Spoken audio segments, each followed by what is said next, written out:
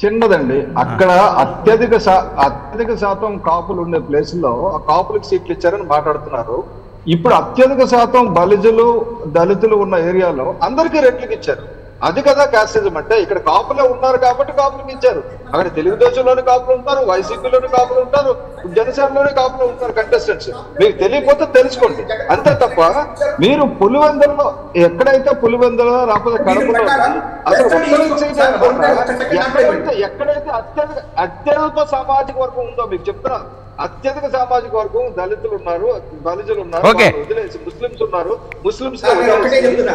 అంటే దీని ప్రకారం వెస్టర్న్ ఈస్ట్ గోదావరి జిల్లాలో జనసేన పార్టీ మిగతా కులాలకు ఇవ్వదు అని ఆయనే చెప్తున్నారు. Right okay thank you. Debate వెనకబడదాం తోలు తీస్తాం పెట్టుకోండి ఒకసారి. ప్రజారాజ్యం కానీ జనసేన కానీ సామాజిక న్యాయం కట్టుబడి ఉంది. మీరు కట్టుబడి లేరు. అంతే దాన్ని డిసైడెడ్. ఎప్పుడైనా పెట్టుకుందాం ఎక్స్క్లూజివ్